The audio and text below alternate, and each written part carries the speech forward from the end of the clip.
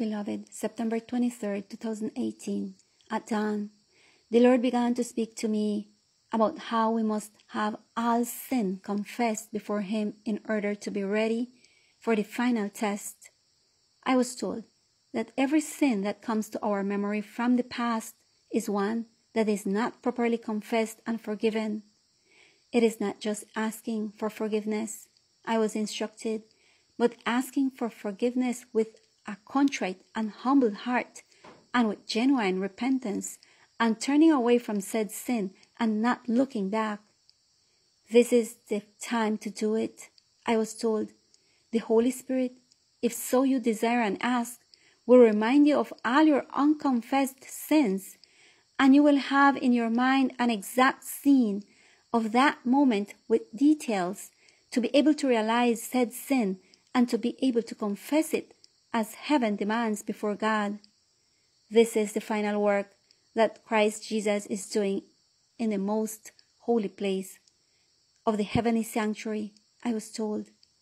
And it is time to get on account so that we can endure the hour of testing.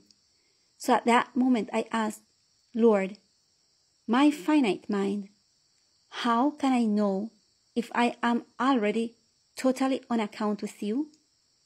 Then it was let me know that as these sins are forgiven, we will no longer remember them by grace and mercy of His name.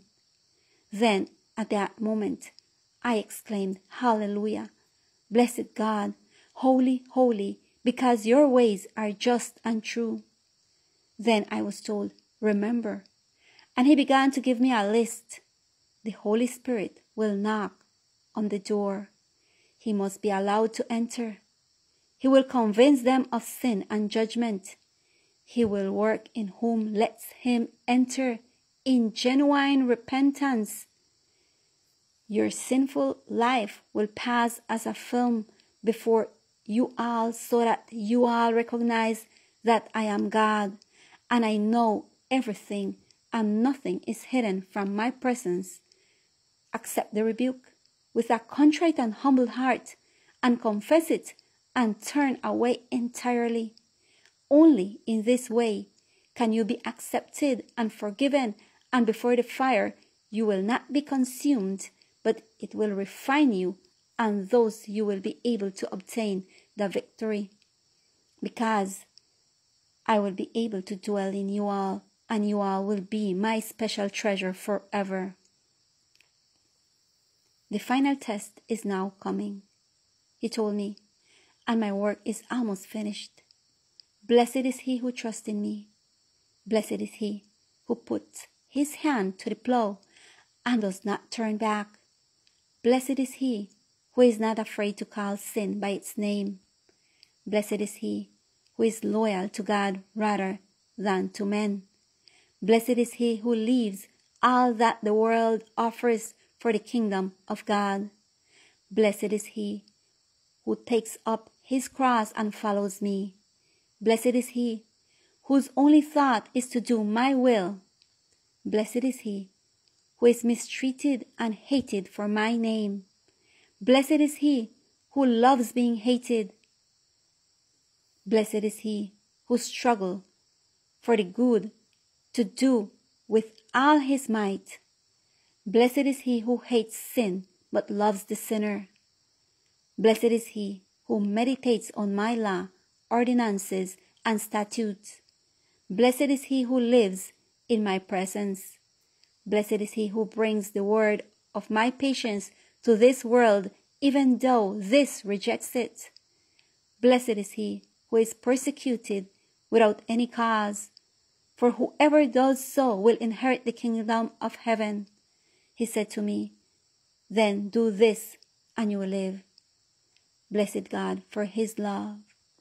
That love and His fidelity that we do not deserve. That being sinners, Christ died for each one of us. Beloved, when I woke up, I was happy to know that a God so infinite and exalted and sublime is so great in mercy, justice, and love, and imparts it to each one of his children. blessed the eternal God forever. When I woke up, dear brothers, I was given three verses Habakkuk chapter 2, verse 4, Micah chapter 4, verse 8, and Malachi chapter 4. May the Lord grant that each one of us can be on account with God, with a God so beautiful, so merciful, so sublime, so exalted, a God who does everything and tells us everything we must do so that we can be accountable to Him. His love we do not understand. It is too big. Our heart is softened to know that such an infinite God has compassion on each one of us that we do not deserve it. Only His love and His grace is what reaches towards us so that we can, if we are true, faithful, thinking beings, rational beings, hold on to that love and not let go of it so that we can pass the final test and be with Him eternally, live with Him eternally in the heavenly homeland. It is my wish and prayer that each one of us can get there.